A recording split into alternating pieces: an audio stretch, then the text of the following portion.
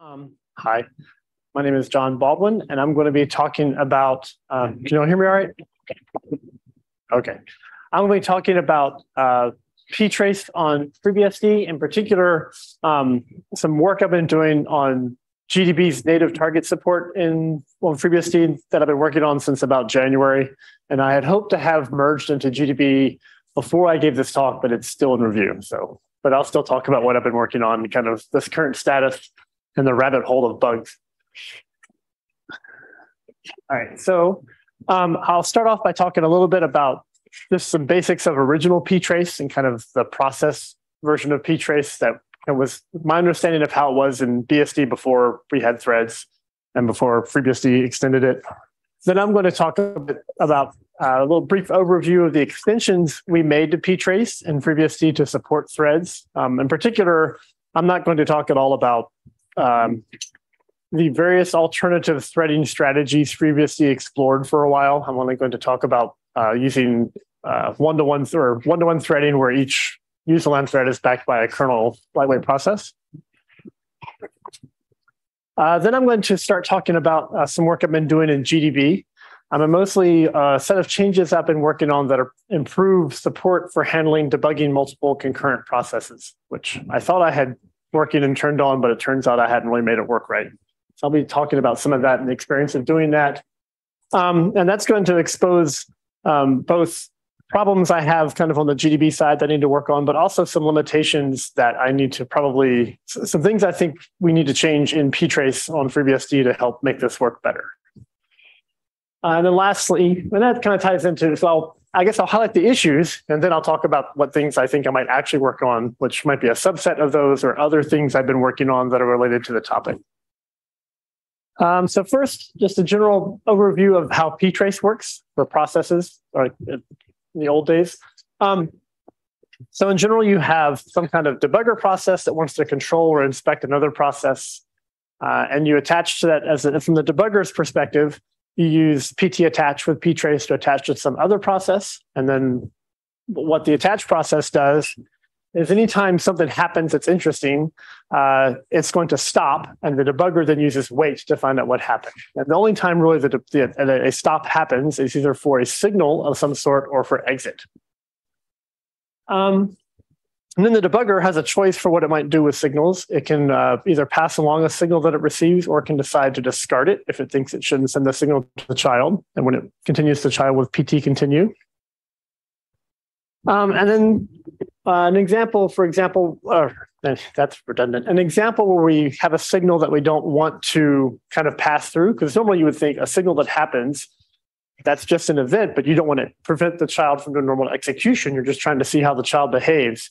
But there are some signals that you don't want to pass through. And an example of that is um, when, a, when a child will raise sig trap when it encounters a breakpoint. And a debugger, if it inserts a breakpoint, well, you've modified how the child should behave or how the, the should behave normally. And you don't want to pass along the resulting sig trap that dumps uh, the child process. So you want to intercept that, intercept that, and discard it instead. And so there are other examples of signals uh, that are ones you don't want to pass along. Um, and in particular, other events that you, you that the kernel uh, or the debugger might be interested in, and that the kernel needs to inform the debugger that happened in a child. They're communicated by sending some some kind of kind of special pseudo signal. You might think of it Usually we use SIGTRAP for this, except in one case I can think of when we use SIGSTOP. Um, but that's kind of because wait is built on the only things that can matter are sending signals. Rather than in a, in a ground up strategy for debugging, you might imagine you might have some kind of way to directly deliver other types of events. But instead, we piggyback on signals because wait already knew about signals. Uh, so an example of one of these other types of events that's kind of a synthetic signal that we'll send if a debugger is interested in the event, or we have in FreeBSD, and I think we had, I think BSD in general might have had this um, system called entry and exit uh, events. So you can ask ptrace. Uh, an old way you could do this is you could use uh, a PT syscall instead of PT continue to resume a process, which turned on um, new events that were raised on every system call entry and exit in the form of a SIG trap that the debugger could see and then again discard once it had figured out that's why the trap had happened. So Um, another example in this class of extra events that could happen that are done by signals and was added in FreeBSD later as an, an extension for well, a thing that debuggers like GDB call fork following, which is um, a way that as a debugger you want to be able to know about forks. And you need some kernel help from this because uh, if a, a process that's being debugged forks, you don't want the child to start running and kind of have a race of when you can stop it and can find out what's happening. You want to be able to know from the beginning what the new child is doing. In particular, like for an example, the V fork, you don't want it kind of scribbling on the memory that's being shared with the parent and so forth outside of control. Um, and so in FreeBSD, we uh, support this via, and I'm not going to give a lot of detail on this one. Um, we have a, a, command called PT or an oper operation to ptrace called PT follow fork, and it does a couple of things. Uh, the first one is that when this is enabled, the kernel kind of auto attaches to new child processes created by a, by a fork and the process being debugged.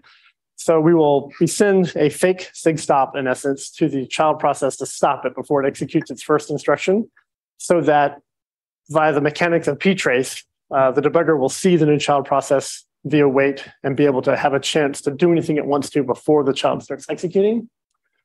Um, and that always happens, and the debugger is responsible for deciding what it wants to do. Um, in addition, we also uh, raise a, a fake event that this one's a sig trap in the parent. So the debugger actually gets two events for a fork.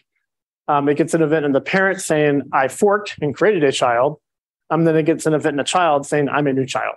Um, and in particular, GDB is, is pretty careful that it kind of, whichever order it gets them in, it then waits for the other one to happen. And it doesn't actually tell GDB, like the upper layers of GDB, that a fork has happened until both events have been received and we're in a consistent state that we have control of the child and the, the parent is finished kind of returning from fork. Um, but I'm not going to actually go into details about this because maybe in this room I talked about this like several years ago. So if you want to learn more about that, you can look at that talk that I gave earlier. So that was kind of the, the you know, brief talk about how ptrace works for processes in a very process-centric world where the existing ptrace primitive made sense for processes. And then in FreeBSD 5, we added kernel threads. So we could have more than one thread per process. And we didn't do them as separate processes. There are separate things within a single PID. And, and ptrace is very PID based. Um, so we had to make some changes to ptrace to allow debugger to deal with um, kernel threads and lightweight processes. And so uh, let's see. This was first added in FreeBSD 5. Um, so one of the changes that was made is that in a multi-threaded process, when any thread encounters an event in the kernel, we do a operation to synchronize all the other threads and force them all to kind of stop and pause in the kernel. So if they're in user land, we'll send them an IPI to make them wake up and re-enter the kernel and kind of get to a, a system call, like a user land return boundary. Or if a thread is in the a in the kernel for a system call, we'll wait for it to get to a point, either as being asleep or getting back out to the the end of the like return to user land. So all the threads have to stop anytime any one thread reports that encounters an issue that it wants to report to the debugger. Um, and then the way that it's currently implemented is in struct proc, we have a single member called p underscore x thread that's a pointer to a thread. And when a debugging thread wants to report an event, it locks the pro it locks the, the process and it checks to see if this member is null. If it is, it gets to set it and it's going to, yay, it's won the race. It's going to be the thread that gets to report an event. And if it wasn't, the, if it's already not null, it just says, okay, well, I'll pause and it'll get a chance in the future when it when it gets resumed to try to go around the loop again and see if it can win the race to be the reporting thread. And this is how we keep track of which thread is the thread that's reporting an event anytime we wake up from wait.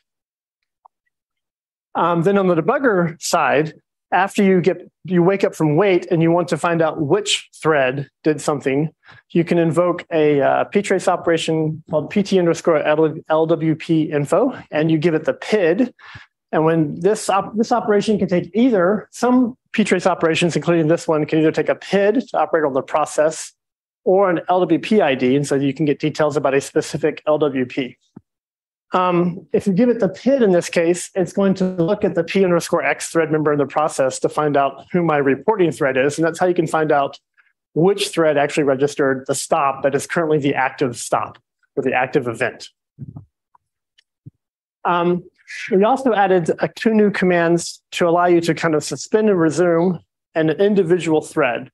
Um, and if a thread is marked suspended, then when you continue the entire process, so PT continue or PT step, they're kind of always resume the entire process. Any threads that are suspended, they stay asleep. They don't actually resume execution. They just kind of, uh, when they're woken up for uh, PT continue, they actually just stay asleep on a wait channel until later. Until later, they're resumed, and if later PT continue when they're resumed, that's when they'll actually start executing again. And then uh, an extension I added that I mentioned in that previous talk in 11.0 is a way to get a set of events to allow a debugger to learn when threads um, are born and when they go away. And I talked about that more in the earlier talk. Um, but the brief summary is uh, without this, a debugger would have to fetch the list of LWPs and kind of check their status every single time you had a stop to see if there are any new ones or, or ones that had gone away. So that adds a lot of ptrace calls to every single stop. Um, with this, you can kind of get an event when a thread starts up. It says, hey, I'm a new thread, but I'm here. And when a thread goes away, it posts a SIG trap to kind of say, I've gone away. And so you can just send, GDB can rely on just getting events for that, and it never has to actually fetch the whole list of threads and scan it to know who's active and who's not. And then there's some quirks specifically around how PT continue works. Um, so every time you resume the process with PT continue or PT step or other some like PT syscall is another one, um, that acknowledges or kind of releases one thread event and it releases whatever thread was p underscore x thread. Um, and this can get very confusing if, for example, you're doing a PT step of some other thread. You don't get to acknowledge the, the event of the other thread. You're acknowledging the event of the thread that was currently reporting an event. So uh, let's say I have like thread A and thread B in our process. And um, thread A gets a signal that's it was chosen to get SIG user one or something, and thread B hits a breakpoint and gets a SIG trap. Talk this out in my head. Um, if thread A, if for some reason, or yeah, for some reason, uh, let's say thread A hasn't even gotten a signal. Thread A is just running. Thread B hits a breakpoint, and so we stop the whole process because um, you've decided to stop the process. Well, the, the breakpoint stops the whole process. The kernel stops it all. You, the debugger returns and says, "Hey, I hit a breakpoint in thread B." And you, the user, say, "Oh, that's cool, but I that's okay. I hit a breakpoint, but now I actually want to see what the other thread was doing." So I'm going to like switch to the other thread in the debugger, and I'm going to turn on a mode which says I want to only step like the current thread I'm looking at, and so I'm going to step thread A to watch what it's doing. The first time you do that, we're going to say, I want to step thread A in terms of ptrace to the kernel, but we're going to clear the event on thread B that reported the SIG trap because that's the one that's currently kind of active. And that mostly works, but it's not always intuitive. Like that particular one, we kind of had a weird bug that I had to fix at one point in the kernel and work around in GDB because you could get it confused. Um, so then, if you, as I mentioned earlier, when you resume, if there are multiple threads that had an event, um, they're going to then try to set p underscore x thread and be their kind of reporting thread and try to have their signal be pending. Um, this means that you can't, if you get a, a stop on a, on a process and you get uh, wait, you can't really like scan all, you can scan all the threads if you want to see if multiple have a, multiple have a pending event to try to coalesce maybe the work you could do. But if any of them have a pending signal, you can't discard it by doing a continue with no signal until they're actually the thread that has set this member because of the way PT continue works. So you can't kind of scan them all and batch up. You have to explicitly, like, this is a thread that had an event, handle that event. I have to continue the whole process. Some they'll all wake up. The ones that still have an event will try to race to set PX thread and then then stop everybody else again. And then that's the one you can handle next. And I'll get into more of why this could be confusing later or painful later in the talk. You can only pass along a signal to a thread while it's kind of this active p underscore x thread via pt continue and pt stop or pt step. In particular, if you suspend a thread, you, you pause it and say, I don't want you to run right now because I'm going to run some other thread. And that the one you're suspending had just received a signal because you're continuing the process to run some other thread, you've lost the opportunity to pass the signal along. To the original thread. It's now gone forever and kind of been discarded. Um, even if later you want to resume the thread you were pausing and at that point let it allow the signal that it had gotten earlier, well, that kind of opportunity was lost the way that things currently work. So that's some discussion about ptrace and maybe some hints about some of the problems that I've run into. Um, now I'm going to talk a bit about uh, the GDB side of things. So first, just what is kind of uh, in GDB, uh, the piece of code that the GDB has a notion of targets, which is how it will talk to something it wants to debug. For example, inspecting a core dump is a special kind of target, but inspecting a live process is a target. And, and the live process ones are what GDB calls a native target. So this is just going to talk about the FreeBSD specific native target. So using ptrace on FreeBSD in effect. Um, so in the current release of GDB, GDB 13, it supports threads just fine, assuming that you do the, the one-to-one model. Um, and supports fork following.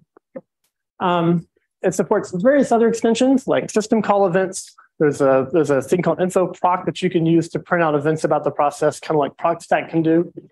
Growth. Um, so like an info proc files and an info proc mappings that returns like the VM mappings and so forth. Um, some things that recently added uh, are support for an asynchronous mode where GDB can kind of let the kind of use uh, non-blocking waits and rely on SIG-child to decide when it needs to really do a wait. Um, and uh, also support for hardware watch points on AR64 was, I think that was new in GDB 13. And one of the things that changed many years ago is it has a little Boolean method that returns true to say, yes, I can support debugging more than one active process at a time, because that was kind of needed to turn on fork following. But the version in 13 is actually rather broken because I didn't really understand the contract, the API contract between the internal kind of what GDB calls the GDB core, that's kind of their um, target neutral event loop, and the what you as a target are supposed to provide. I didn't fully understand the API, which to someone in my defense, it is somewhat obscure. So the first thing I looked at is this little GDB bug that I think has been open for five years. Um, and there's the link to it if you want to go read the sad story. Um, but the details of what happens in this particular bug uh, is that a new thread arrives and it starts executing and reports its birth to GDB when GDB is like not ready for it and thinks that shouldn't happen.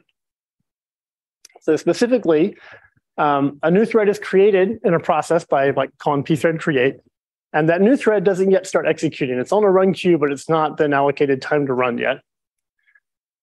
Meanwhile, in some other thread in the same process, some kind of event like a breakpoint occurs, and so the whole process stops, right? And uh, now GDB is going to call wait to find out what happened. Um, like in particular, let's say a, a breakpoint, because that's really the most often case for this.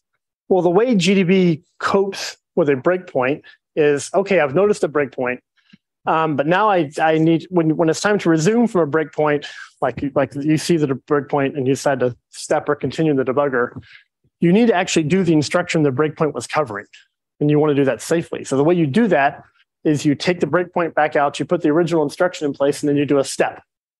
And then once the step is over, you're going to put the breakpoint back. And that's how you safely execute the one instruction. And then you can let everybody run once you put the breakpoint back.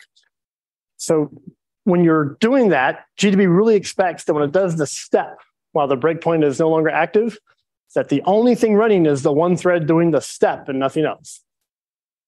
And Mark is already smiling. Um, so the way we do this is, is GDB set, it sends a GDB sends a request to the native target to say, okay, I want you to resume this one LWP and this LWP only with a step. And we say, in the native target, we say, okay, I will suspend all the LWPs I know about, which does not include the new thread that hasn't told us it exists yet, because we haven't gotten the event for it yet because it hasn't started executing. So we just suspend everybody else in the process.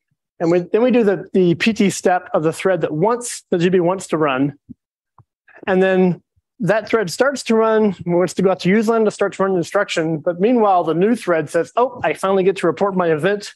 And I immediately go around the loop and get to be PX thread and stop the process and report my event to saying, I'm born, I'm here. and GDB says, why are you running and throws an assertion error and dies. so that's what happens in that bug. Um, so what are the kind of ways to fix that? Um, it's really a race between uh, w- the part of GDB that wants to resume the thread to step because it trying to resume. I say I want the GDB says I want to run that one thread, and the fact that we have this new thread that showed up and the thread trying to report its birth. So one idea is we could fetch the list of existing threads and scan them all to check for any new threads every single time you're ever going to resume um, execution of a paused process in GDB. But that's many ptrace calls for every single resumption. That would be kind of expensive. At least two, but actually probably more than two for every resume. Um, the second fix, and the one that I've chosen to do, is when we get that request to resume a thread, we remember what GDB told us that you said only run this thread. And if we get event for some other thread, we say, okay, oops, but we know it's a, a new thread's an oops, it's okay. And we'll kind of save that off in a list of pending events somewhere until later. resume the process to let it keep, we'll suspend the brand new thread so it doesn't do any damage. We'll resume the process so it can keep running and get the event we really care about um, and then report it. And well, actually, that's my next slide. I'll get there. Um, and this kind of solution, instead of doing extra ptrace calls every time, we're only adding overhead when the race is lost. All right, so I was getting ahead of myself. So how does this work? Um, the resume callback uh, that, that GDB invokes anytime it wants to start running something again, um, it takes an, an argument, this type that GDB uses called a ptid underscore t.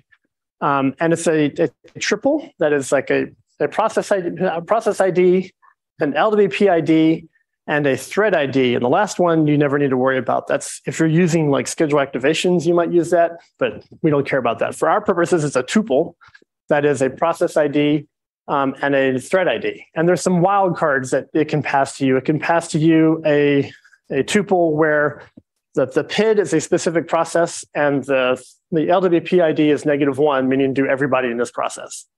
And it has a PID where a, a uh, an ID, a tuple, where the PID is negative one, which means you can, it's a wildcard for everything that you're currently kind of attached to in our debugging.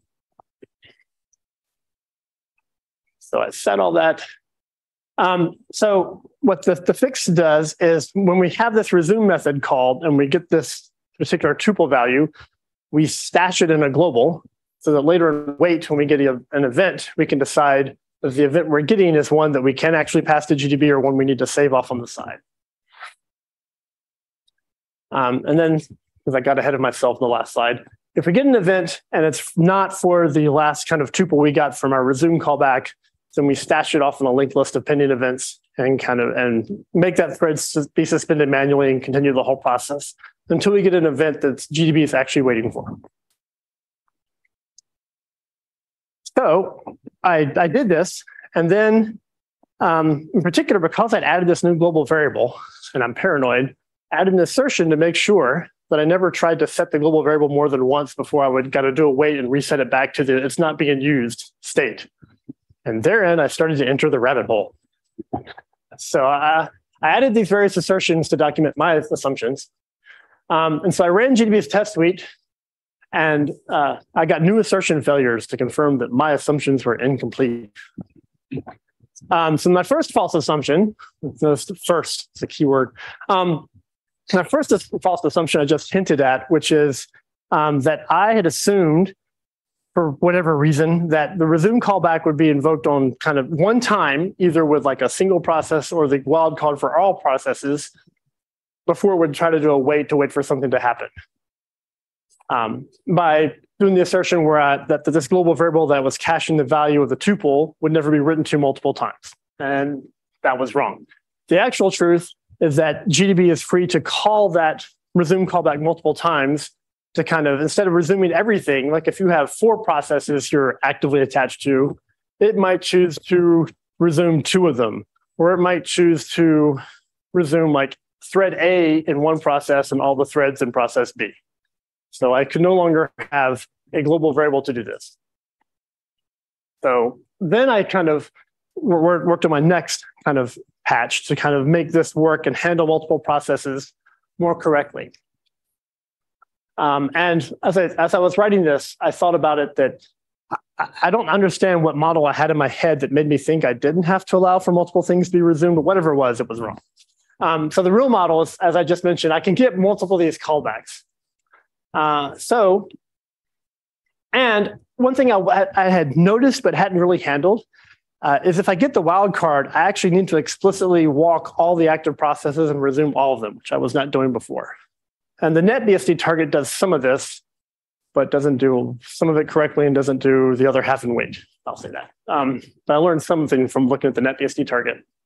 Um, but another thing that I also completely didn't do, and this one is not the part that NetBSD doesn't quite do currently, is when a process stops to report an event, the native target is responsible for finding any other processes that we're currently attached to that are running and stopping them explicitly as well.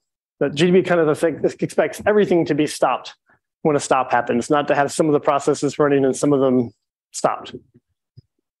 Uh, and GDB calls this kind of all stop mode. We'll talk a little bit more about that later, but that's kind of how it expects by default ptrace type targets on Unix systems to work. So what are some of the things I had to fix? Um, instead of having a global copy of this kind of tuple that passed to resume, I had to allocate a data structure for every active running process, um, what GDB calls an inferior, and I had to store a copy of which uh, what was my my resume tuple for a given process in that data structure. It was kind of indexed by the process. And if resume is invoked with a wildcard, I have to walk all the, there's an easy way to ask for it. I have to kind of ask GDB for all my active inferiors that are currently attached to me as a native target and go through and resume all of them to kind of PT continue all of them so they all start running. And then along with this, um, because I'm going to need this for wait, I added a new little helper function to stop any given process. Um, and what it what this little helper function does is we do a wait with no hang, just on the off chance that maybe the process has already stopped because it like some thread didn't hit a breakpoint, for example, or something like that in which case life is great. We don't have to really mess with the process much. And if that doesn't work, then we have to send sig stop to it. And then we have to wait for, because we need the process to stop. So we'll send sig stop to make sure there's at least an event in flight that's going to make this process stop one way or another. And then we do a blocking wait to wait for the process to report a stop.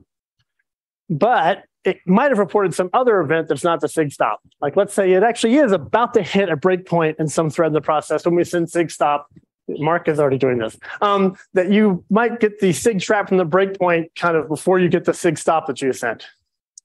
So then I also have to remember if I have a pending sig stop in flight that in the future I'm going to need to explicitly discard and throw away because it's from the debugger and not for reals.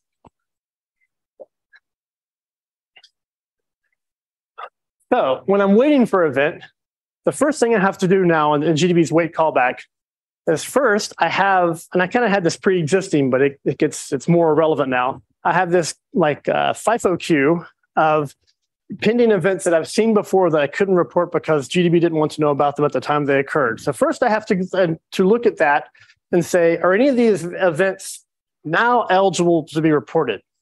Because GDB tells me in wait that a tuple of the things it cares about that it wants to know. And so I might have an event that I can't report because the tuple to wait says it's not eligible, or for the process that the the reporting thread belongs to, if the set of currently resumed threads for that process doesn't include the thread that had this event, I still need to kind of keep it as deferred.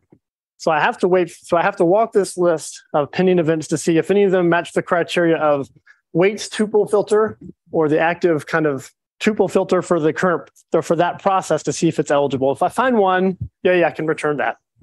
Life is all happy. Um, well, I can return that one after a little more work, but I can return that one. Um, but if I don't find any of those, then I actually call the real thing that does wait, which it turns out is actually a loop around wait because inside of that I can have events I need to discard. But anyway, I get to call wait in a loop till I have something that really happens. But then when I get an event from wait, I have to check to see is an event that I actually can deliver um, using the same filter rules about is does it match weights kind of filter of what it's allowed to report? And for the process that the thread belongs to is it allowed to report this event or not? And decide do i queue it in my linked list and resume the process? Or I finally got something I can report. And then finally, once I have gotten some kind of event, either from my pending list or because I called wait and I got something out of wait that is valid, then I have to go walk all of my list of active processes to see any of them that are still running. I need to stop them using the new little helper routine I added earlier, either because maybe they already happened to stop or I got to send them a sig stop and make sure everything is calm and quiet. And then finally, at that point, I can return an event to GDB that will be something it wants to see and not assert over. And then add a lot of assertions to cover all this crap. You can see a pattern. Farther down the hole. Um, more assumptions, more more test failures with assumptions. I even had a nice little. At one point, I had a nice pipeline I saved in my history, which would kind of do a grep of with my. I grepped all the test names and then like internal error, which gets the thing that gets printed for an assertion, and then piped it through like uh, grep minus two, that grep for internal error again with some sorting and count. So I got a nice summary of all the counts of assertion failures with a count in front of them, but in the test in which they asserted because that was handy because it happened. Um, the, the next assertion I ran into that was problematic, um, or the next kind of issue I ran into uh, was there were two other things in my target layer that I implemented um, that I assumed GDB would always stop the process for me one way or another before it was called, and it doesn't. Because actually, it would have to have a way to do that. And it was just a false assumption. But in particular, when GDB wants to detach from a process because you typed detach in, or if GDB wants to kill a process with kill, it may be that the process is actually still running. Um, you can actually do this. There are, I don't use them typically, but I guess some like graphical front ends can use it. There are commands in GDB where you can do like a continue with an ampersand, where it continues the process and let it runs, but it doesn't block waiting for an event. It gives you a prompt back and you can do whatever you want to kind of do other commands to it. And so in things like, some of the tests will do things like this, and that's how they tripped over and found these problems where we wanted to detach from something or kill it, but it was still running and like ptrace failed or something like that. Um, but there's a couple of extra wrinkles to fix for these cases besides just stopping the process. So I do need to stop the process before I detach it, but then I have to do some cleanup. So in particular, if you remember, I talked about fork following a while ago, and that what the kernel does is if you have fork following turned on and you forked, we always like mark the child process as attached to the to the debugger, like as part of the fork happening, and that happens instantly at the time of fork. Well, if I'm about to detach or kill, there might be fork events um, in a thread hasn't won the race yet to call to set itself as PX thread and report the fork event so that I, as the debugger, know about it and know about the new child process that I'm actually attached to from the kernel's perspective, but maybe I, as the debugger, don't know about it yet. So one of the things I need to make sure I do in detach and kill is find any processes that I might be attached to because they were a child of a fork and make sure I've detached from them successfully so they're all free to run as part of detaching from the parent.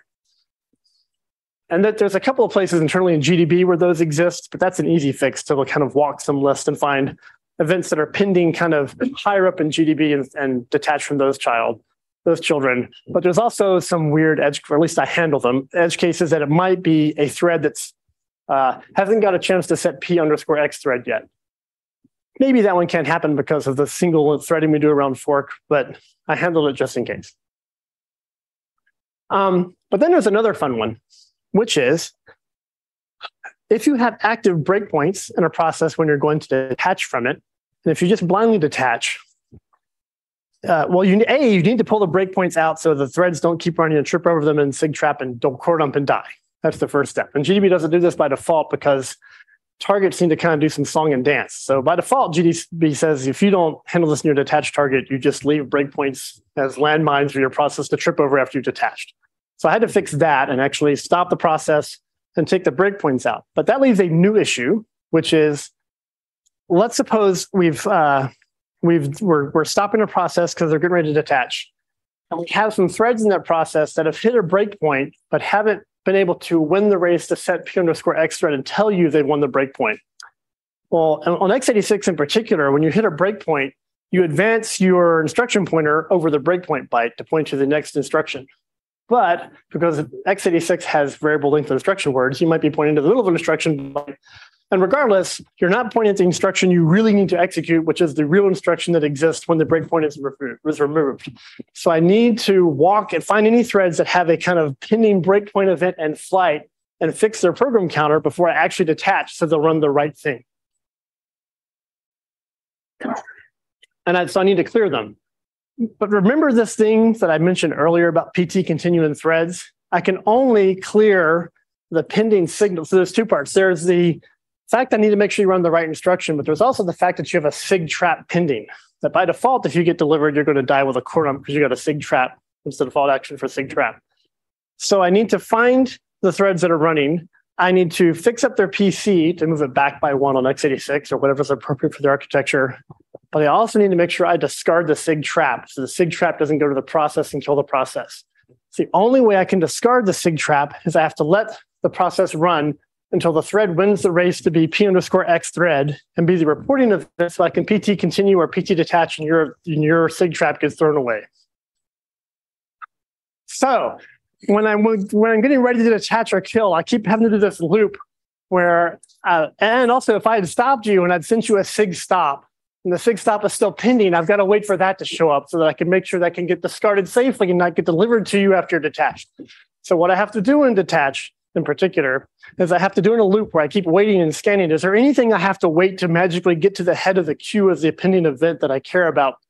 And I have, to, and as long as that's true, I've got to continue the process and wait for what happens and see if handle that one and see if I got any more. And of course, you can imagine uh, you can keep getting more events, get more fork events or whatever. So you have to you have potentially a loop that could run forever, waiting to get to a quiet enough state where I can detach with no bad side effects. And that's about that long. Uses the lambda and everything. okay. I think I talked that to death. All right. So this is good. I got ahead of myself a little bit. So I have to drain these events. Um, and I can only discard when I get to the head of that queue for PX thread. So I can't use a nice or order one, look at the process, clean up all the mess, detach, and you're done. I have to use this annoying real loop and loop until it's all quiet. And that was a lot of painful code to write. And then in the press part of this, I found a bug, not in GDB, but in the kernel uh, which is my bug. To, to, be clear, it's my fault. Um, but I found a bug in the LWP events I added back in FreeBSD 11. Um, for for reasons I kind of understood why I did what I did, and I, I think I maybe said in the review why I did what I did. Maybe um, the way that we keep track of if we have these thread events to report, in particular for born and exit, um, is we set some flags in a field in struct thread to say what is my kind of pending list of events that I have, and then during detach, we clear some, but not all of these flags. And actually, I think there's one of them we have to, we can't just set to zero because if we resume you and we want to, if we want to detach and, and pass along the signal you just reported, we can't set it to zero. So we can't actually set them to zero for all of them. So we, we only clear some of them. And when I added this new event to say you're born, I didn't during detach clear that flag to say you should no longer report yourself when you start executing. So a little race that um, if you've created, if you've piece, you've uh, as the child, one being debugged, you've created a new thread via pthread create on the run queue, has not run yet, and then the debugger, and we get a stop for some other reason, and the debugger says, "Okay, I'm going to detach." Um, and the debugger thinks it's all fine to detach because you know no active breakpoints or forks or anything. It detaches. That's all fine. That's great. Um, and it disables ptrace and says, okay, and lets everything starts running again. The thread wakes up, it goes into the kernel and like fork return or fork whatever it is. And it says, oh, I have this born event I should report. So I'm going to send myself a SIG trap so the debugger can get it. And then boom, it just dies. Because it's a real SIG trap now, not a, not a SIG trap that goes to the debugger. So um, I'm just like tweaking the fix a little bit. It's in review. If I didn't have a conference this week with a dev summit, I would have committed it by now, but it's not yet fixed. Um, and uh, it turns out there is a way I can detect this case. There's a, I can see in the PT LWP info um, that I'm in this unique case that it only has the born flag and not the flag that says I've also kind of hit a signal yet because of reasons. Um, so in my Lambda function, in my earlier loop for detach, when I'm checking for all the candidate of things I need to let bubble up to the front, um, I'm going to put a FreeBSD version guard around it. But that's one of my conditions besides have you hit a breakpoint, have you forked, is um, do you are you in this weird state where you've been born but not reported yet? I'm trying to detach and I can't let that happen. And so that's one of the events that I will let drain um, to make sure it gets to the head of the queue. Mm. Okay, so at this point, after having to work around for that bug and the kernel fix, I'm down with all my new assertions to one assertion failure, new assertion failure, um, or one actually one assertion failure that that's not like a test of the assertion function because GDB's test suite has that, um, and the entire run of Alt's test suite.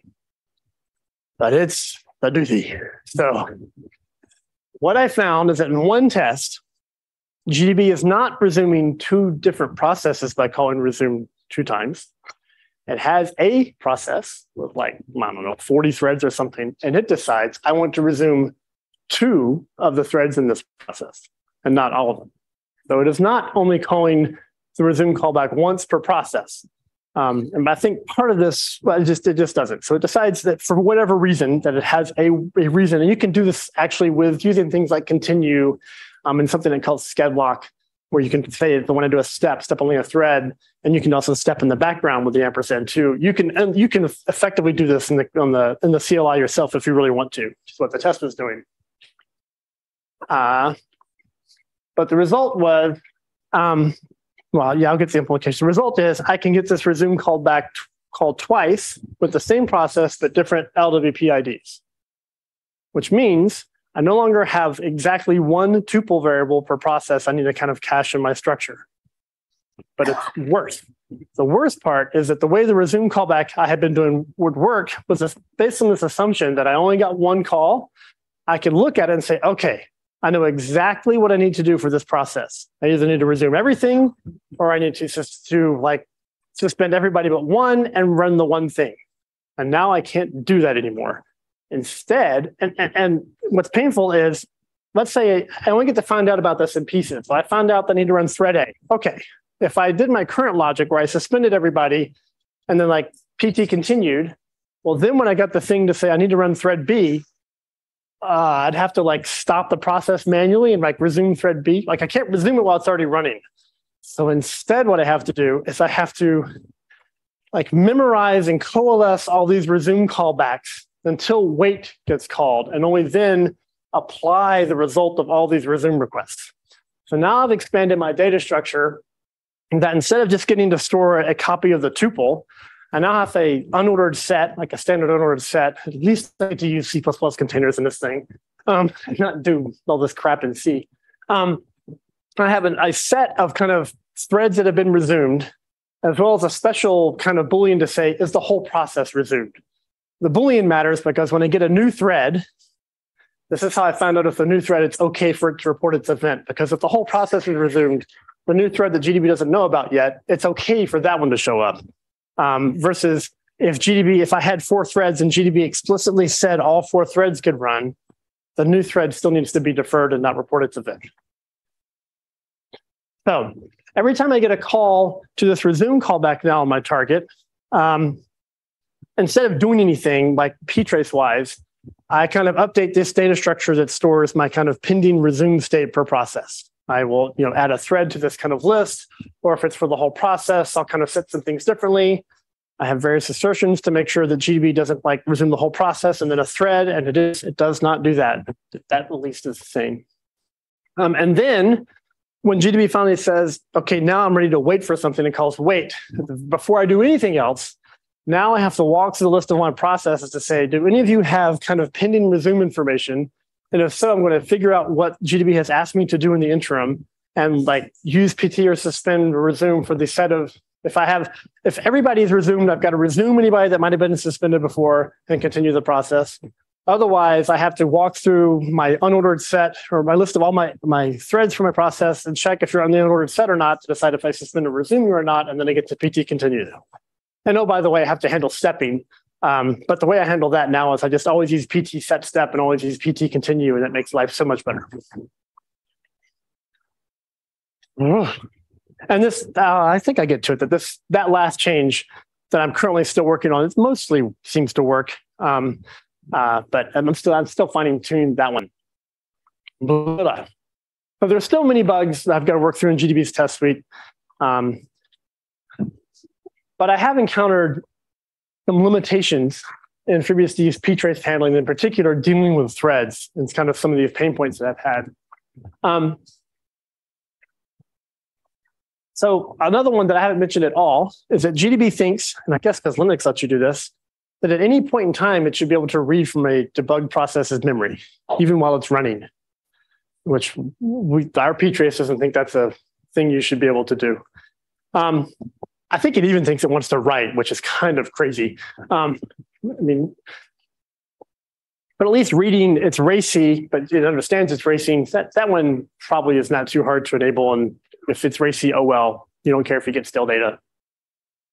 I haven't really thought about if we want to try to handle writing. I'm hoping to do reading and see if that if, if it actually anything still fails after that.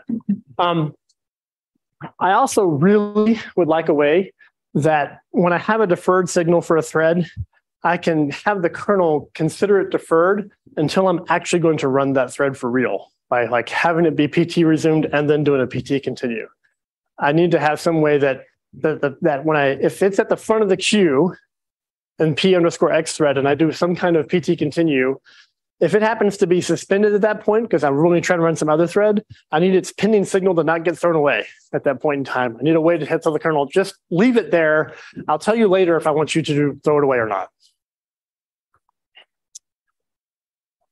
Uh, I would really like a way, and I think I've already hinted at this four times or two or three times, really like a way that when a process stops, I can just kind of pull off all the events without having to do a PT continue dance and just pull them all off, handle all the things. Like, for example, in detached, that would make my life much better.